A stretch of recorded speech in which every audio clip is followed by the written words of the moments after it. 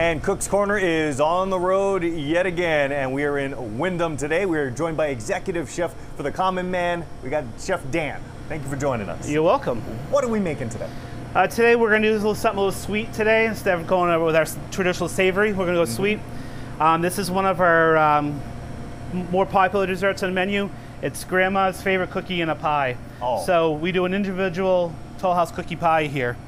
So we have a little six-inch pie plate. So you can use your favorite recipe for your dough. And we don't traditionally go all the way up the sides like you would a pie and flute it and everything. Sure. We want it to look a little more free-formed. So you get that out, get it all down in the in the corners and stuff. And this is just our traditional Toll House cookie batter. You know, sugar, brown sugar, butter, uh, chocolate chips, All the good stuff. walnuts. um, so we put a nice big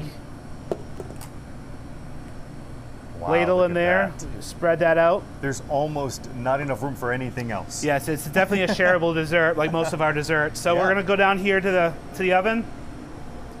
Gonna pop that in a 350 degree oven, and I have one here ready to Oh, go. Magic of television. Magic of television. Look at that. So here at the restaurants, we serve it on a, a pool of uh, hot fudge.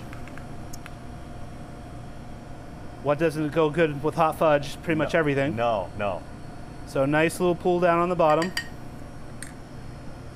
Gonna pop out our pie. Oh my gosh. And so when you put the nice warm pie on top of that little bed of fudge. Yep. And then it doesn't doesn't end there. Oh, there's more. There is more. Oh, but so wait, this is more. our common made man common man made vanilla ice cream.